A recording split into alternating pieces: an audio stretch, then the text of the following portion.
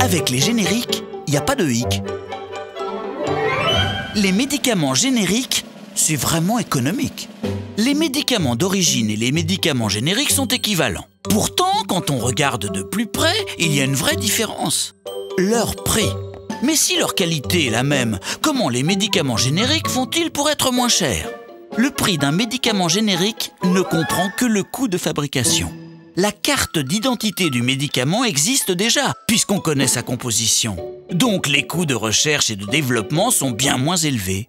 Résultat, au lancement, le prix des médicaments génériques est environ 60% moins cher que celui du médicament d'origine, ce qui fait économiser à l'assurance maladie près de 2 milliards d'euros par an. Une belle contribution pour la sauvegarde de notre système de santé. Aujourd'hui en France, près d'un médicament remboursé sur quatre est un générique. C'est encourageant. Mais chez nos voisins allemands et anglais qui en font usage depuis plus longtemps, cette part représente plus du double. Ah, pas mal, non? Bon, vous l'avez compris, choisir un générique, c'est vraiment économique.